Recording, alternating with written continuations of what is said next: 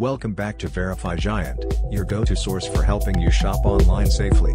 Today, we're diving into Hotel Jar8 Nuevo, right across from the Veracruz Aquarium.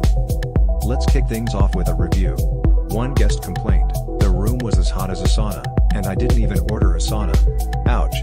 But, here's a brighter side, Cynthia from Mexico exclaimed, the location and price are amazing. It's almost like being at a beach party without the actual party. Now, about the hotel.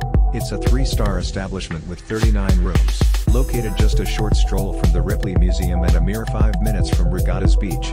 The rooms feature tile flooring and private bathrooms equipped with walk-in showers. So, if you're into splashing water, you're in luck. For amenities, you get free Wi-Fi, because who needs a vacation from social media? And there's also free public parking nearby. The hotel prides itself on being a stone's throw from local attractions like the Naval Museum and Benito Juarez Auditorium. Talk about a location that's not just for show. Food-wise, it's not all-inclusive, but you're close to local delights. Ever tried Veracruz-style seafood? You should. The local dish, Huachinango a la Veracruzana, is a must. Now, let's rate some key factors. Location, 9 out of 10 for being so close to the beach. Room quality, 6 out of 10 for those sauna moments. Facilities and amenities, 7 out of 10 for what's offered.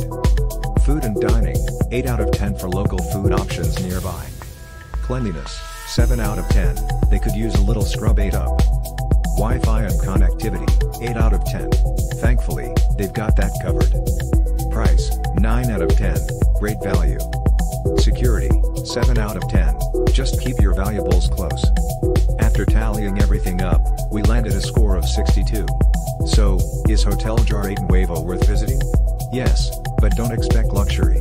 For a quirky beach getaway, you could do